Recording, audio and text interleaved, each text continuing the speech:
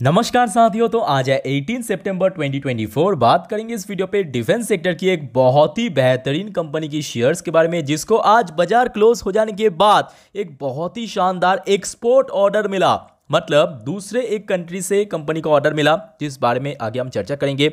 आइए देख लेते हैं कंपनी यानी शेयर्स का नाम। इस ऑर्डर के बारे में पूरा जानकारी देंगे। क्या आपको इस कंपनी के शेयर में इन्वेस्ट करना चाहिए या प्रेजेंट सिचुएशन को बेस करके आपको इग्नोर करना चाहिए? तो रिक्वेस्ट करूँगा आप सभी को प्लीज़ वीडियो को बिना स्किप के पूरा अंत तक ज़रूर देखना। दोस्तों गेस कीजिए कौन सा शेयर हो सकता है डिफेंस सेक्टर में?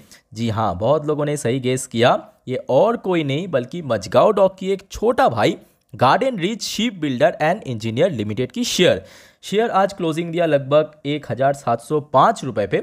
जस्ट सत्रह सौ के ऊपर बेस बना लिया सपोर्ट लग दिया। One point two six percent गिरावट के साथ। चलिए, सबसे पहले मैं आपको सीधा ऑफिशियल अपडेट के ऊपर लेके चलता हूँ। दोस्तों, ये हो गया आपका B S C B S C N S C दोनों ही स्टॉक एक्सचेंज की जो ऑफिशियल वेबसाइट है, वहाँ पे विज़िट करके आप खुद ही चेकआउट कर सकते हो। ये न्यूज़ पब्लिश हुआ, यानी कंपनी की तरफ़ से एक्सचेंज को इन्फॉर्म किया।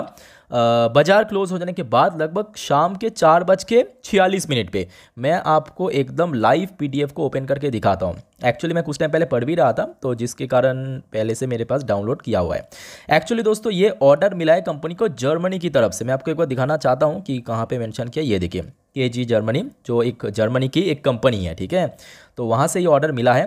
मैं आपको थोड़ा स्क्रॉल करके दिखाता हूँ कि कितने कितने करोड़ की ऑर्डर ये देखिए इंटरनेशनल एंटाइटी मतलब बाहर की एक कंपनी से ये मिला है। ये देखिए टोटल जो ये प्रोजेक्ट के लिए तैंतीस महीने तैंतीस महीने मतलब लगभग कितना? तीन साल से थोड़ा कम, वही दो साल, नौ महीने के आसपास कंपनी को टाइम मिला है। टोटल इस ऑर्डर की वैल्यूशन है फिफ्टी फोर क्योंकि देखिए, विदेश की ऑर्डर है तो जिस वजह से आपकी यूएसडी में दिख जाएगा, ठीक है? फिफ्टी फोर मिलियन डॉलर तो इसको अगर आप यूएसडी से आईनर पे कन्वर्ट करेंगे तो लगभग वही साढ़े चार सौ करोड़ के आसपास ये ऑर्डर की वैल्यूशन आपको दिख जाएगा। अच्छा ये ऑर्डर दोस्तों पहली बार नहीं, इसके पहले भी दिया था। मैं आपको थोड़ा आसान भाषा में समझा देता हूँ। यहाँ पे आप देख सकते हो क्या मेंशन किया, कि additional approx 54 million USD for further four vessels the total value would be approx 108 million USD for eight vessel तो एक्चुअली आज से लगभग दो महीने पहले जून महीने की बात है जून महीने पे दोस्तों टोटल चार वेसल्स की ऑर्डर मिल गया था 54 मिलियन uh, यूएसडी का। इसको और ज़्यादा ऐड किया। मतलब और चार वेसल यहाँ पे बनाने की ऑर्डर मिला। पहले चार मिला था, अभी चार मिला। टोटल ऑर्डर की वैल्यू कितना हो चुका है? 108 मिलियन यूएसडी तो होपफुली दोस्तों क्लियर हो चुका है। आज कंपनी को मिला है साढ़े चार सौ करोड़ की एडिशनल ऑर्डर जो कि इसके पहले भी साढ़े चार सौ करोड़ की मिला था। तो टोटल वैल्यूशन कितना हो गया? लगभग कोई नौ सौ करोड़ के आसपास, ठीक है? तो टोटल तैतीस महीने है कंपनी के हाथ में इस ऑर्डर को कंप्लीट करने के लिए। अब क्योंकि देखिए इंटरनेशनल ऑर्डर मतलब आपके एक्सपोर्ट ऑर्डर तो ऑब्वियसली इसका वैल्यू काफ़ी बढ़ जाता है, ठीक है? ओके देखिए न्यूज़ तो काफ़ी अच्छा है। उसके साथ साथ एक और शानदार न्यूज़ दोस्तों, आपकी सेंट्रल की तरफ़ से आया है, ये देखिए। शिप बिल्डर गार्डन रिच थोड़ा उल्टा लिखा है। गार्डन रिच शिप बिल्डर होगा। बैक 54 मिलियन ऑर्डर यहाँ तक तो हमने देख लिया ऑलरेडी अब देखिए, दूसरे पैरा में। Centre upgrade PSU to schedule A category जैसे कि आप लोगों ने सुना होगा कि कोई कंपनी को मिनी रत्ना कोई कंपनी को, महारत्ना, किसी कंपनी को नवरत्न की टैग मिलता है। उसके भी नीचे मतलब मिनी रत्न हो गया मिनी रत्न के नीचे क्या होता है? शेड्यूल ए शेड्यूल बी तो इसके पहले कंपनी क्या था? शेड्यूल बी कंपनी था। इसको अपग्रेड कर लिया शेड्यूल ए पे। मैं आपको थोड़ा पढ़ के एकदम आसान भाषा में समझाता हूँ। ये देखिए ship building and defence P S U garden ship builder and engineers यानी G R has been upgraded from schedule B पहले क्या था? शेड्यूल बी था। इसको अपग्रेड किया गया शेड्यूल ए पे C P S C by the government on 18 सितंबर ये भी आज दोस्तों बाज़ार क्लोज हो जाने के बाद का ही अपडेट है।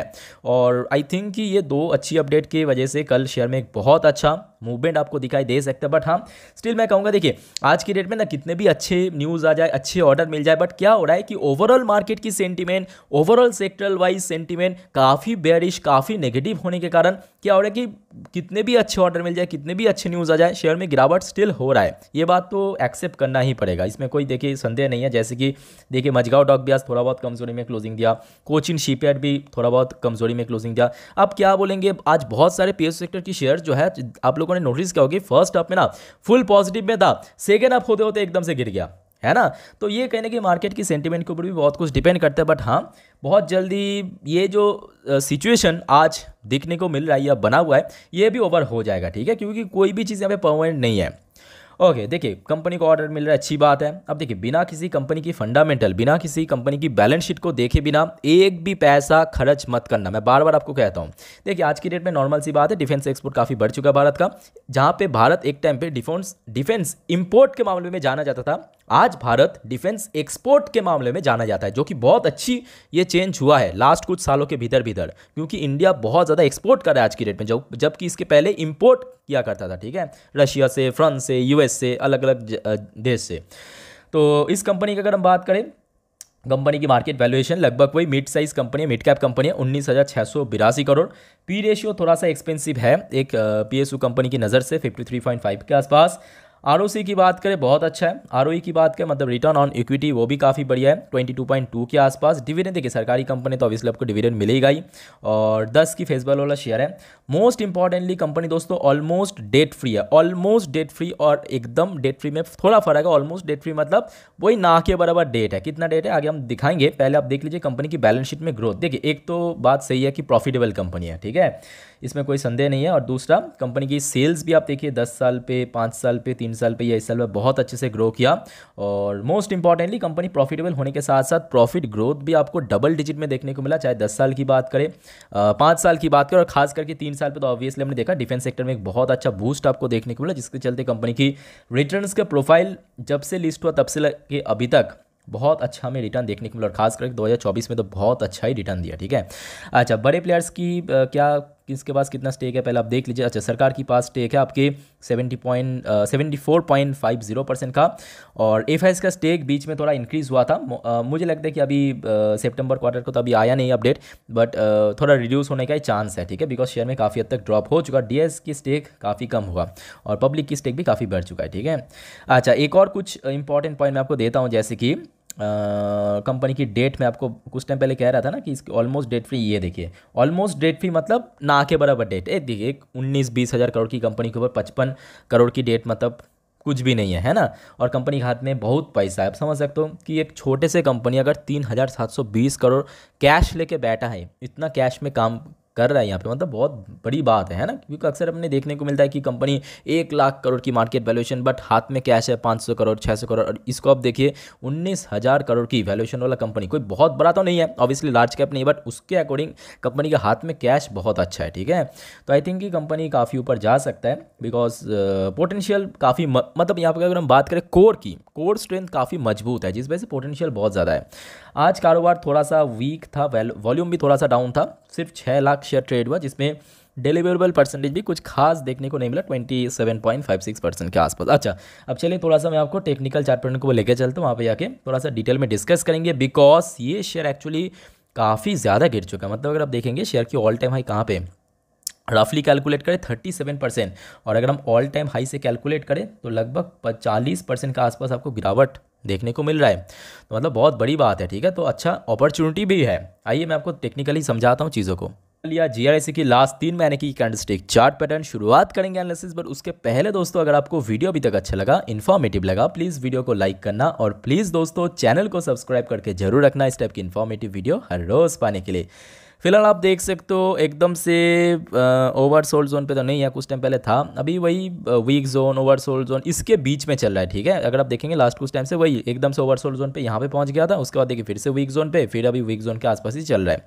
अच्छा तीन पॉइंट अलग अलग कवर करेंगे। एक रेजिस्टेंस कहाँ पे है? नीचे सपोर्ट और एंट्री पॉइंट ठीक है? तो ऑलरेडी शेयर तो हमने देखा, चालीस परसेंट से ज़्यादा ही नीचे आ चुका है। तो सबसे पहले हम बात करेंगे रेजिस्टेंस कहाँ पे है। ऊपर की तरफ़ अगर मूव किया तो सबसे पहले रेजिस्टेंस तो लास्ट कुछ समय पे हमने देखा, यहाँ पे आपको कुछ इंडिकेटर्स दिख जाएगा। एक तो हो गया आपका रेड कलर की लाइन ये हो गया आपका पचास दिन की ई e ठीक, उसके नीचे आपको ब्लू कलर की लाइन देखेगा, जो कि इंडिकेट करता है ट्वेंटी डेज़ की ई एम ई मतलब एक्सपोनेंशियल मूविंग एवरेज को अलग अलग इंडिकेटर्स जिसके थ्रू हमें मालूम पड़ता है कि कहाँ पर रेजिस्टेंस कहाँ पर सपोर्ट है। जैसे कि देखिए, यहाँ पे ट्वेंटी डेज़ की ईएमए जैसे इस पर्टिकुलर लेवल पर आज से लगभग डेढ़ दो हफ़्ता पहले ब्रेक किया। उसके बाद देखिए कंटिन्यूसली कंटिन्यूसली ब्लू कलर की लाइन यानी ट्वेंटी डेज़ की मैं ध्यान से देखिए, मैं आपको जूम करके दिखाता हूँ, यहाँ पे रेजिस्टेंस मिला। तो इसके अकॉर्डिंग जो इमीडिएट रेजिस्टेंस पॉइंट देखिए ट्वेंटी डेज़ की में नंबर कितना, आप खुद ही बता दीजिए, आपको मालूम पड़ जाएगा। अठारह सौ, सत्रह सौ पचानवे मतलब लगभग वही अठारह सौ के लेवल तो इमीडिएट रेजिस्टेंस क्या हो गया? अठारह सौ। उसके बाद देखिए, ऊपर की तरफ़ रेजिस्टेंस कहाँ पे? 2077 लगभग यहाँ पे रफली पकड़ लीजिए 2050 के आसपास। तो एक हो गया आपका 1800 के आसपास, दूसरा हो गया आपका 2050 के आसपास। ऐसे हम रेजिस्टेंस सपोर्ट इंडिकेट करते हैं, ठीक है? मतलब आप बोल सकते हो एक टाइप का निर्धारित करते हैं। अच्छा अगर हम थोड़ा सा और पीछे पहुँच जाए तो यहाँ पे आपको कुछ सपोर्ट मिलेगा, क्योंकि शेयर में इतना फास्ट यहाँ पे ड्रॉप हुआ है शेयर प्राइस जिस वजह से कोई सपोर्ट लेवल तो यहाँ पे दिख नहीं रहा बट एक ही सपोर्ट लेवल जबकि शेयर में तेज़ी हो रहा था रैली बन रहा था, उसके ठीक पहले, इस पर्टिकुलर लेवल पे, जहाँ पे नंबर वही 1680 के आसपास निकल के आ रहा है, ठीक है? इस लेवल को आप देखिए, कुछ दिन के लिए यहाँ पे सपोर्ट मिला था, एक ही कैंडल है तो लगभग 1680 के आसपास एक अच्छा सपोर्ट है, जहाँ पे आज भी सपोर्ट मिल गया। इन केस अगर ये लेवल टूट गया सीधा सीधा डेढ़ हज़ार, क्योंकि इसके पहले अगर हम बात करिए देखिए, ये जो रैली आपको दिख रहा है ये रैली आपको दिख रहा है जून के महीने पे। इस रैली के पहले देखिए, जब शेयर रेजिस्टेंस मिला था कुछ समय के लिए, ये था आपका डेढ़ हज़ार की लेवल तो सबसे पहला सपोर्ट मिल गया 1680 अगर ये टूट गया, सीधा डेढ़ हज़ार। तो होपफुली आपको क्लियर हो चुका है।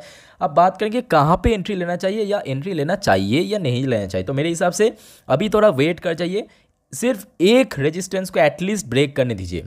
कब तक? जब तक ना पहला रेजिस्टेंस पहला रेजिस्टेंस अभी आपने क्या देखा? 1800 1800 पहले शेयर को 1800 के लेवल ब्रेक करके ऊपर जाने दीजिए, क्योंकि इतना शार्प डाउनफॉल हुआ है ना तो थोड़ा सा एक स्ट्रॉन्ग बेस के ऊपर सस्टेन करना चाहिए। तो स्ट्रॉन्ग बेस कहाँ पे है? जहाँ पे शेयर बार बार रिजेक्ट हो रहा था 1800 के आस तो आई थिंक कि पहले आपको 1800 के ऊपर वेट करना चाहिए।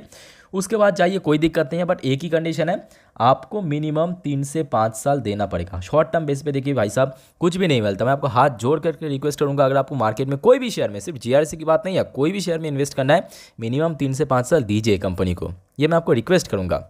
सजेशन नहीं, ठीक है?